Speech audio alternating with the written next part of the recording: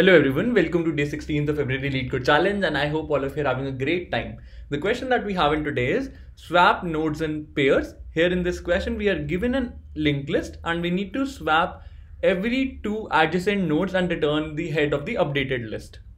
What we need to keep in mind, we must solve the problem without modifying the values of the list nodes. Here in this example, we are given four nodes, 1, 2, 3, 4. What should be the updated linked list? 1 and 2 should be swapped, 3 and 4 should be swapped. The updated linked list should be 2143.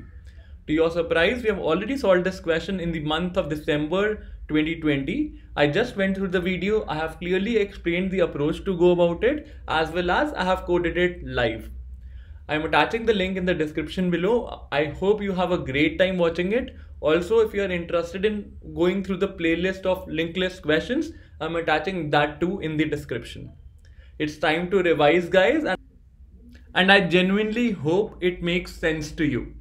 This brings me to the end of today's session. Also, don't forget to like, share, and subscribe to the channel. Thanks for viewing it. Have a great day ahead, and I'll see you tomorrow with another fresh question. But till then, goodbye.